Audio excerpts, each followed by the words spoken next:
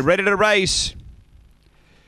Away, Canley Ollie hopped out well. There's speed from Wyro Bobbin going quickly. Halo Hayes, they go to the first bend. Halo Hayes found the lead. Wyro Bob around a second, driving up the inside. Canley Ollie around it. Dinah Edgar getting past it. Uh, then Chopsticks and four or five Sunnyside J and Tronald Trump down the back. Halo Hayes out by a length on Wyro Bob. Back on the inside is Dinah Edgar. A couple away. Canley Ollie only battling. Straightening for home. Halo Hayes leads from Dinah Edgar. Halo Hayes in front. Halo Hayes beats Dinah Edgar. Canley Ollie got going late into third, then Wyro Bob. Next is uh, Chopsticks, and then came Tronald Trump and blowing away.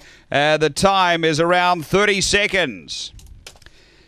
After the running of race number seven, uh, numbers are 2, 8, 4, and 9. 2 Halo Hayes, Timarachi. A uh, black dog, November 2013, collision, zoom around.